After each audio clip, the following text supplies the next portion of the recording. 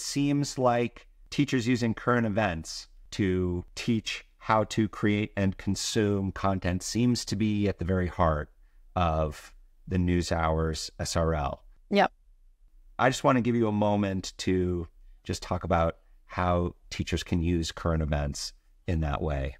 So, a couple of different ways. We do have a website called NewsHour Classroom. So, it every day takes a story that's been on the NewsHour and asks the question Is this something that would work in a classroom?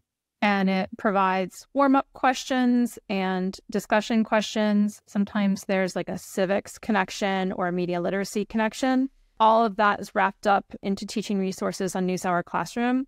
We've heard from teachers that that's some of our more successful current events content because the students really connect to seeing themselves on air, seeing themselves represented on screen. And so it really works as a way for teachers to show that these issues, you know, impact young people and there are ways of looking at them that can help them see mm-hmm. where there are opportunities for change or for understanding and to see other students critically thinking about these issues and questioning, asking questions to people in power and exploring these topics like in real time through storytelling is a really wonderful way to help students see that they too like have those opportunities and those skills that they can develop.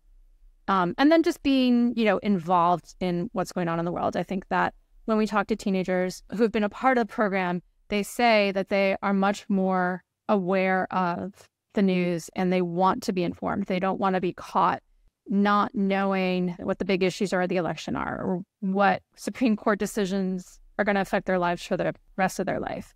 You know, that's what we're really here for is to like light those sparks so that they're really engaged uh, young people going into adulthood.